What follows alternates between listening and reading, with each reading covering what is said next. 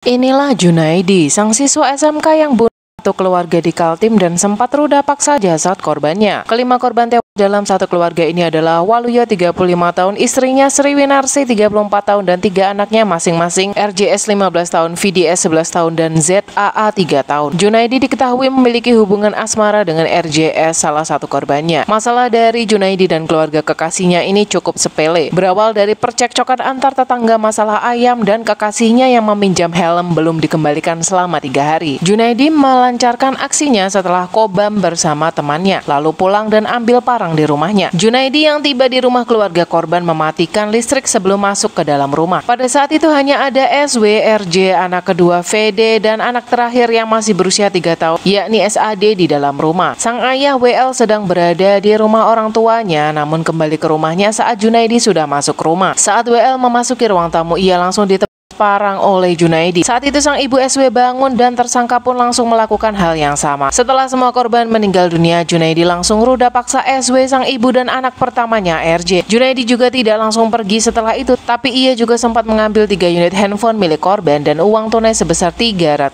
ribu. Kocaknya nih, Junaidi mengajak kakaknya ke Pak RT untuk melapor terkait adanya kasus pembunuhan ini. Junaidi beralibi supaya polisi tak curiga bahwa ialah pelakunya. Oh alah Junet, kebanyakan nonton sinetron Indo terbang nih kayaknya. Junaidi ditangkap dan kena undang-undang perlindungan anak dengan ancaman hukuman atau sekurang-kurangnya penjara seumur hidup.